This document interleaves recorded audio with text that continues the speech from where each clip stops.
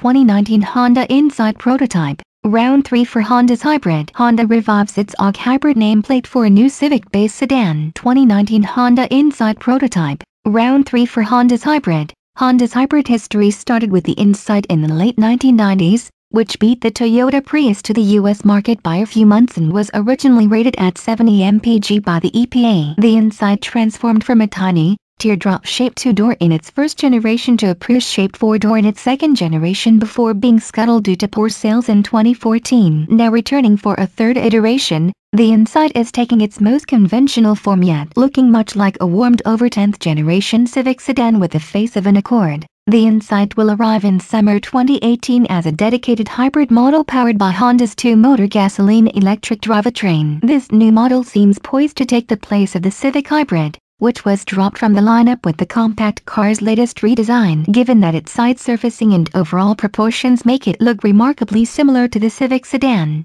we're betting that the Insight uses the same front-wheel drive platform. For now, Honda is not sharing many details about the Insight, which is being shown in prototype form. Nonetheless, in the company's usual fashion, it looks basically ready for production. Honda is even showing sketches of the full interior, which looks a tad more upscale than the Civic's thanks to a nicer digital gauge cluster, a larger central touchscreen with volume knob, and the push-button shifter found in several other Honda products, including the Accord 2.0T and the Odyssey. We do know the Insight will use a version of the two-motor hybrid system from the latest Accord hybrid. Given that the Insight is smaller than the Accord hybrid and could get by with less than that car's 212 total horsepower, it might use a smaller displacement gasoline engine than the Accord's 2.0-liter Atkinson cycle four-cylinder. Expectations for fuel economy are high, as the larger Accord is targeting 50 mpg combined from the EPA, and the Insight will be chasing after the Toyota Prius, which gets up to 56 mpg combined,